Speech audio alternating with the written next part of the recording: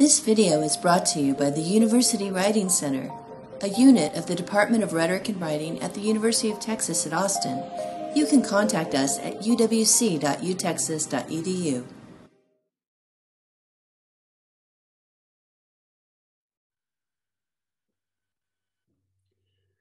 Hi, I'm Lynn with the University Writing Center, and I'd like to chat with you for just a few minutes about the great crippler of graduate student writing, nominalizations. Um, nominalizations occur when we take a perfectly good verb or an adjective and we nominalize it or change it into a noun.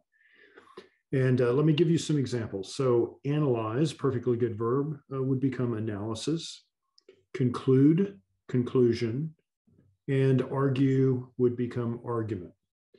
Um, and since we morphed this verb or adjective into a noun, uh, and we want to put it in a sentence, we have to surround it with other words to let it make sense within that sentence. And so uh, we analyze the data, would be nominalized and turned into we conducted an analysis of the data.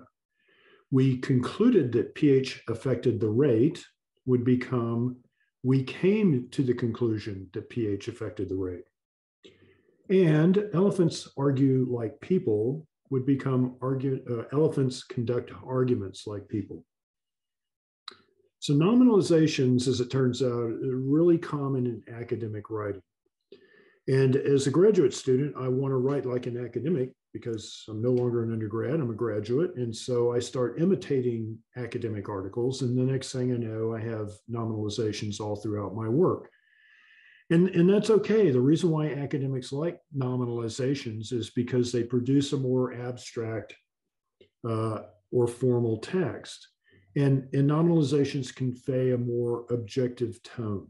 So it, it lifts the, uh, the writing up to, to a higher, to an academic level. Um, the counter argument to that, made by Dr. Helen Sword, is that nominalizations also transform simple and straightforward writing into something that's wordy and often confusing. Um, and so there's this uh, decision that we have to make about whether we want to write for academics or whether we want to write for educated laymen. Um, and then we adjust our language accordingly. Um, so when I write and when I work with students at the Writing Center, I take the second approach. I, I want to help um, our readers access the information in our writing. And so I um, recommend and talk to students about taking those nominalizations when we find them, converting that noun back into the adjective or the verb that it originally started as, and reconstruct the sentence so it's written at a, a, a much easier to access, easier to understand uh, sentence. So let me give you some examples. The professor's belief is that the research was carelessly done.